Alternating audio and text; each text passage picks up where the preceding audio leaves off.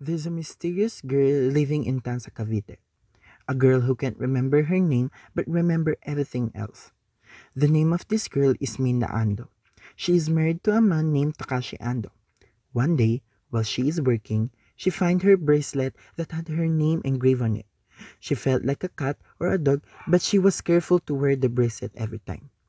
In case she forgot her name, all she had to do is to glance at her bracelet. Mina began to worry that forgetting her name might be a disease, like an early sign of Alzheimer's. She went to the hospital and explained her situation.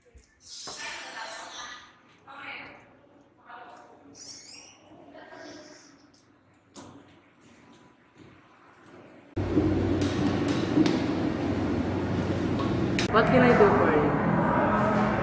Doc, I think I have problem in forgetting my name, and I think it's severe illness. Maybe you're just having stress this past few days. That's why you've been having that kind of problem. No, I think I have illness. Mrs., I don't think you have. Just come back here if you feel something aching like your head. And I'll be checking what will be the problem. Alright, thank you. Mina, I called you here in my office because your coworker told me that you always been out of your mind. And it seems like you're drowning in your own thoughts. As your uncle, of course, I care for, I care for you, Mina. I'll give you a psychiatrist call you part and part to consult with. I'm doing this because I care for you. Take care for yourself always. I don't think I need that, Uncle, but thank you anyway.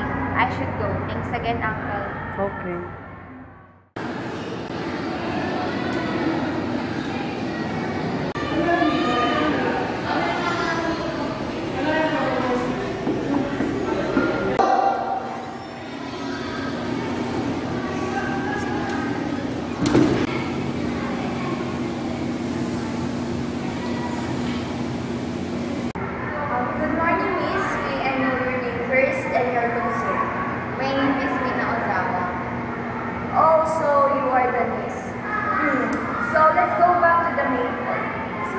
Possible, when telling your problems or concern, be specific and honest at the same time. Um, my problem is I always forget my name every day, every time I ask about it. But the strange thing is, I remember everything about myself except my name. Mm, I've been already encountered worse case than you have. But first, can you tell me what are the things that gives you destructive feelings that keep keeps you awake at night? Family matters. Actually, none aside from my illness, I have no problem with my family and friends. My mother sent me to a university at Manila since I'm taking high school, while my brother and sister stayed at Cavite because they're always assist my mother and my father in our business. But there is one thing that always comes to my mind, which is my schoolmate that take her own life because of depression. Mina tells Sakaki about her friend Yuko and what happened to Yuko when they are still studying.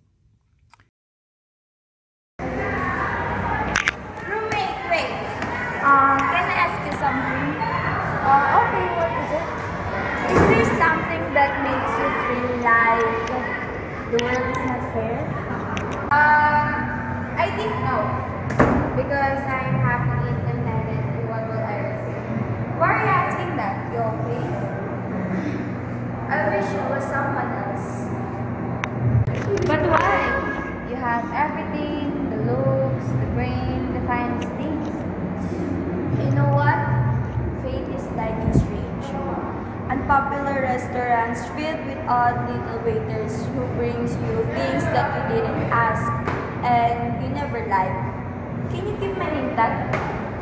Why me? I'll be absent for a few weeks because I have to go to my parents' place.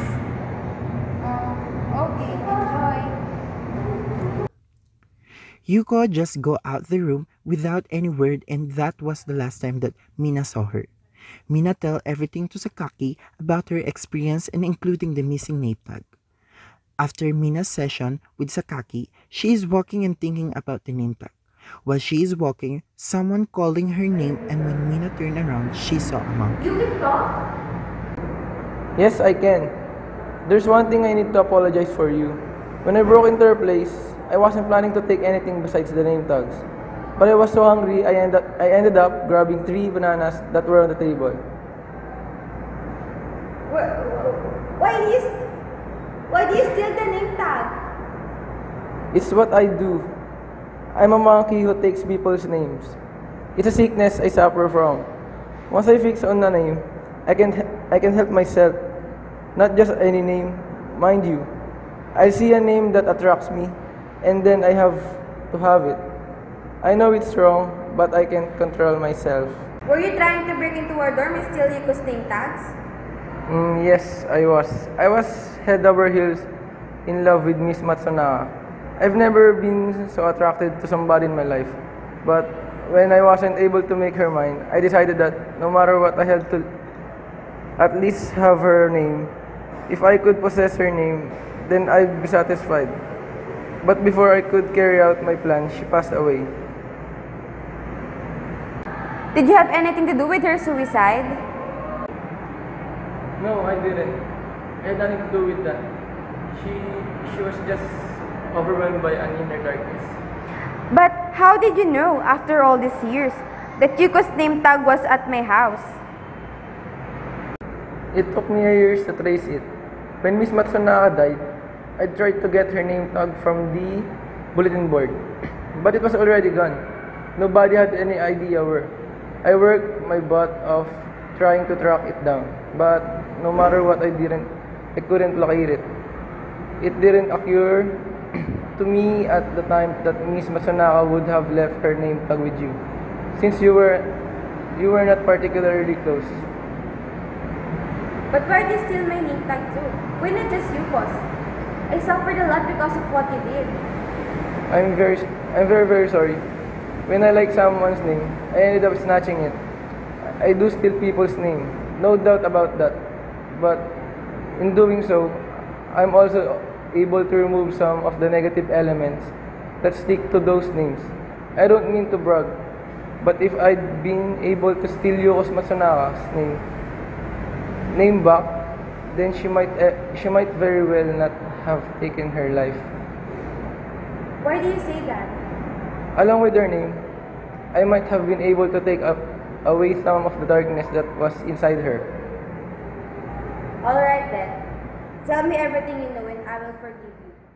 The monkey tells everything to Mina, and after Mina had her conversation with the monkey, she get her name tag and throw into the pond. She finally had her name back and could resume a normal life. Things might work out, then again, they might not. But at least she had her name now, a name that was hers and hers alone.